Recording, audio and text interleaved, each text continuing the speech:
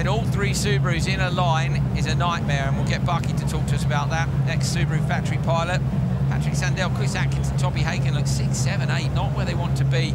Sandell, be warned, is in a red coloured car on the inside. Idemitsu livery for him this weekend. Oliver Bennett out in P4 on the outside.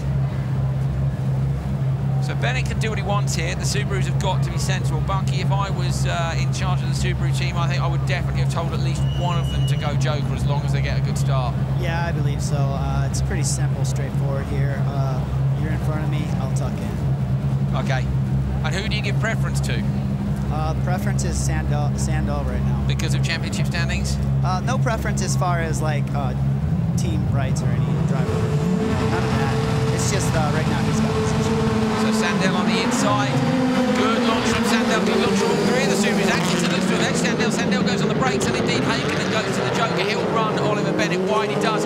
Tidy move from Heikkinen.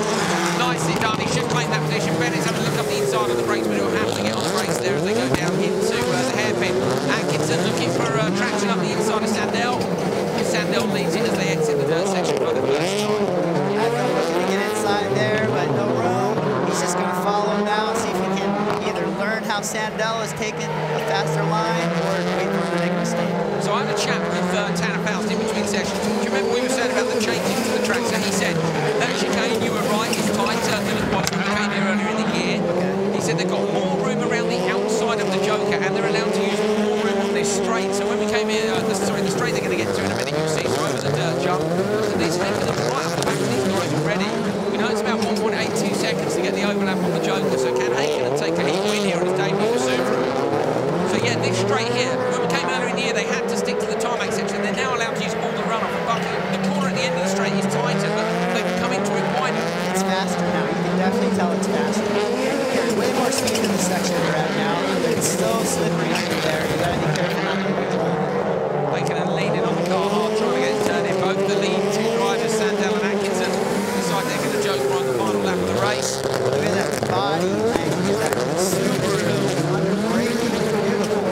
Heikkinen is, um, it's good to have Topi back, isn't it? It is really good to have Tommy back. He's a great driver, good character, and uh, he's, he's got a lot of input. It's proper fun, isn't it, Topi? He was all smiles when he came back to the World Rallycross Championship earlier on this year. Pretty sure he did France and Latvia with MJP Racing. Now getting the call up for Subaru. But yeah, that's a big deal, you know, it's the factory team. Topi here into the The two lead Subarus. Watch for Heikkinen on the inside, trying to cover them off. Heikkinen should move across here, but Sandell will be up his inside. Heikkinen gets it. Tidy. So the 57 car Topi Heikkinen, despite a nudge from his teammate Patrik Sandell. Heikkinen bonnet though. Front right corner of Heikkinen's hood is loose on the car. So Heikkinen will be hoping the bonnet doesn't fly up. We saw that, didn't we? Scheider at Silverstone earlier on this year, hood right up over the front of the car.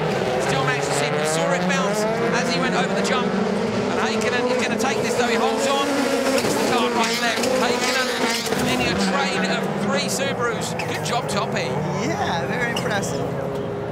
Got that done, didn't he? Jumps in the car, wins heat race. Not, not easy, is it? No, Not ah, it's when not. these guys have been in the car all year. Yeah, they've been in the car all year.